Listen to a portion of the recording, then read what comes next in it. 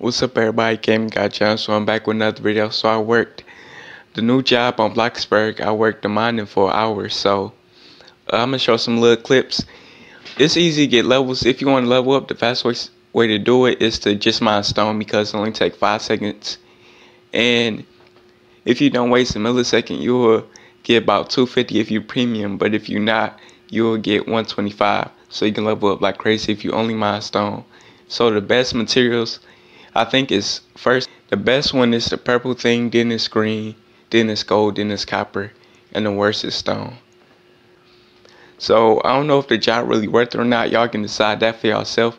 Comment down below if you think this job is worth it because at the end I show you how much I make and we had mine the whole bottom floor.